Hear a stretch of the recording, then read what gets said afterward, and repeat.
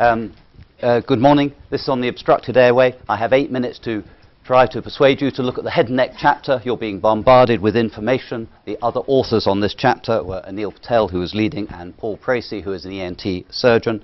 And together we've come up with a large number of recommendations. Let me just give you a taste of what's in the chapter. Patient with an advanced transglottic tumour comes to theatre, they need a tracheostomy, they're going to have some radiotherapy, they're wor worried about the size of it. Anaesthesia is induced with total intravenous anaesthesia in the anaesthetic room. Intubation is attempted with a video laryngoscope repeatedly. The oxygen saturations fall, they can't ventilate the patient, they try a needle cricothyrotomy in dire situations. Patients are really arrested, the surgeon comes through the door, tries to intubate, but it's all too late, and the patient has died in the anaesthetic room. Now in the NAP 4 project, there are 72 reports which relate to patients with head and neck disease.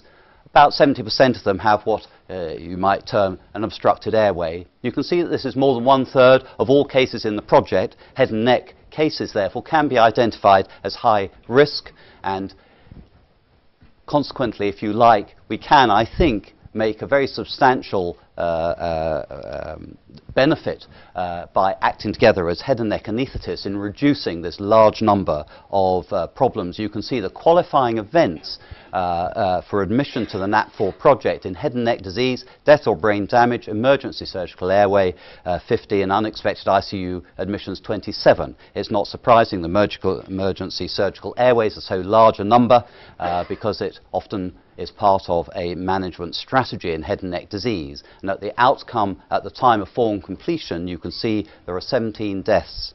So a large number, but also a large number of recovery as well.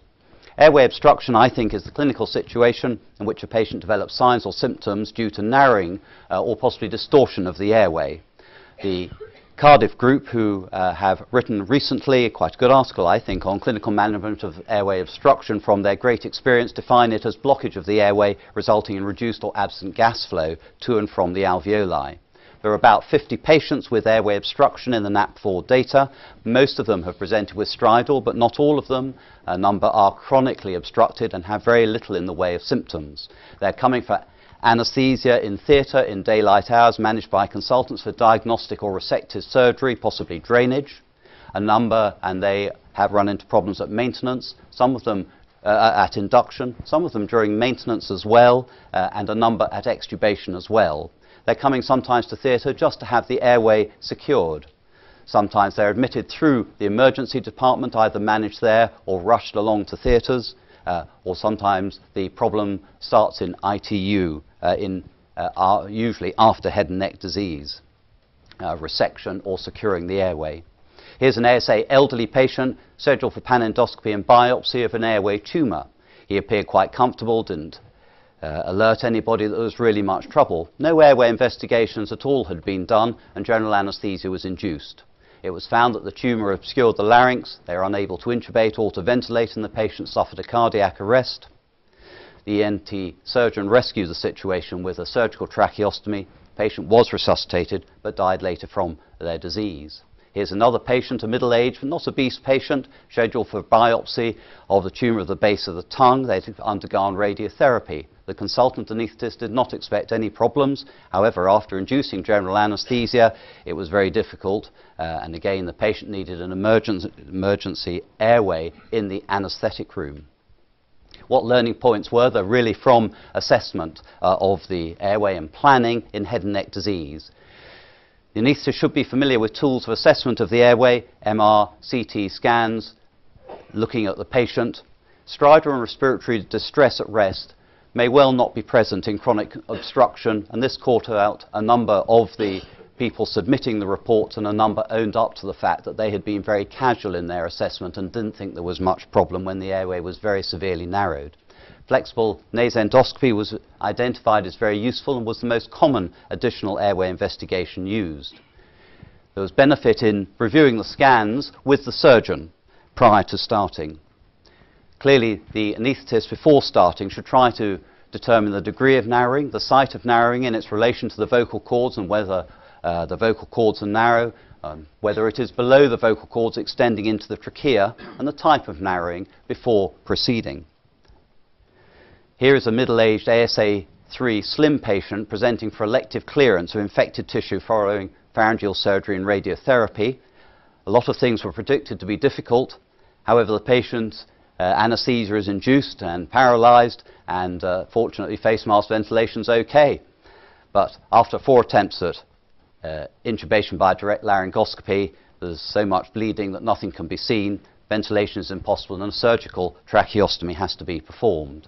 So how should we manage these sort of patients? Sadly, we always talk about the initial primary plan as though that is the way to deal with something. Inhalation induction is ingrained in our consciousness, almost certainly inappropriately uh, if we talk about it as the only way that we're going to manage it. For inhalation induction in the NAP4 project, only in four patients there seemed to be no particular compromise once an inhalation induction had been started in ventilation. But in 12 patients, the airway uh, became more difficult during the uh, spontaneous uh, ventilation induction and the inhalation induction. And in 11 patients, ventilation ceased uh, completely, uh, either because the airway had been lost or after an attempted intubation, uh, ventilation was not possible. What about another technique, direct laryngoscopy? Here, uh, uh, persistent theme is the deterioration very rapidly with attempts at direct laryngoscopy, sometimes after the first attempt. And in uh, 15 patients, uh, the airway disappeared uh, completely after attempts at direct laryngoscopy, and all these patients needed a surgical airway to rescue the situation. Mansukh has spoken about flexible fibre optic intubation.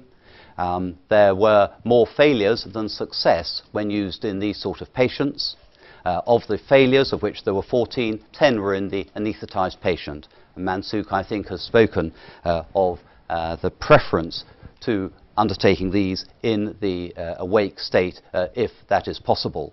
However, you can see that everything I've spoken about so far, uh, inhalational, direct laryngoscopy and intubation, flexible fiber optic intubation has all failed. We identified clearly none that have been successful as the primary plan wholly. Needle cricothyrotomy often fails. And Chris is going to talk about this now, but just let me tell you that in the head and neck patients, it was used 27 times and it failed more commonly than it was successful.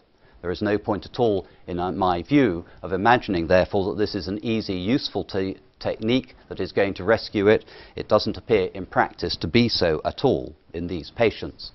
We may love our anaesthetic rooms. Here is a person who returns to theatre after radical neck dissection. He appeared to be a fairly easy intubation initially. However, he comes back into theatre and is found, as is characteristic, that at uh, direct laryngoscopy, the tissues are extremely uh, edematous, uh, the larynx really can't be seen. It's remarkable how quickly this occurs. They're unable to intubate, very difficult to ventilate. Patient was rushed into theatre for a surgical tracheostomy with the intubating laryngeal mask in place. Fortunately, the thiopentone and succinylcholine wore off and the patient was able to regain their airway and they had a tracheostomy under local anaesthesia.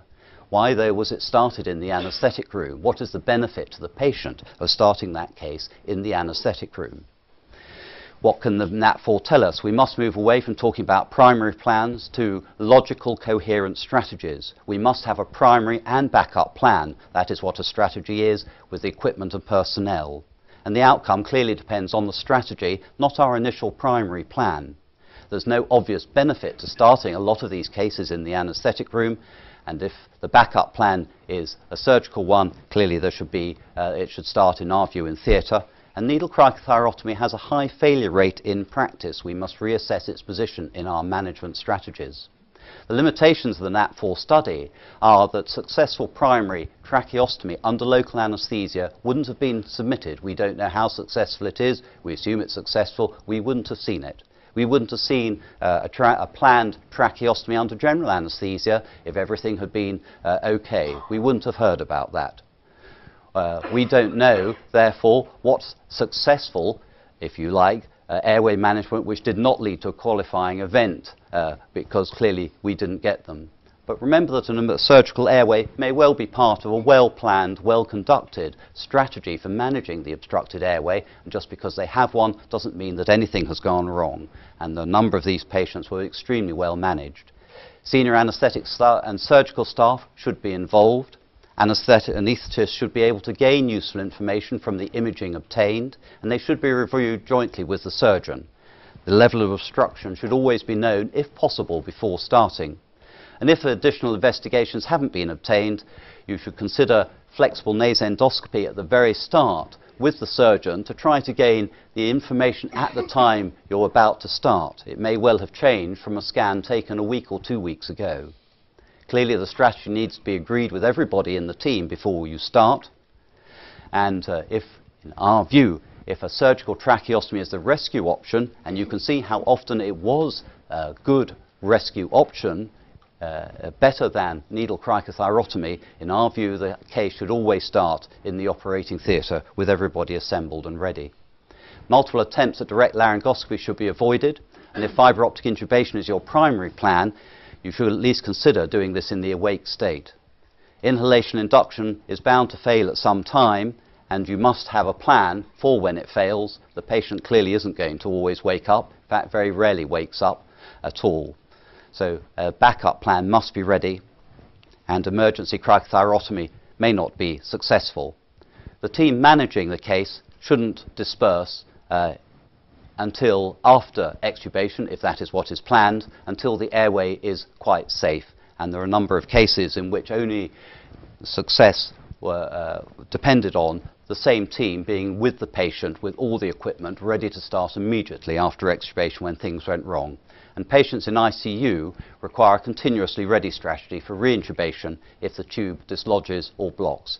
That is very much more difficult to organise than what we do in theatre, which is one point in time with a strategy. In ITU, it's got to be a continuous strategy for days. What is going to happen if this tube blocks or comes out? That's really, I think, very difficult. Thank you very much.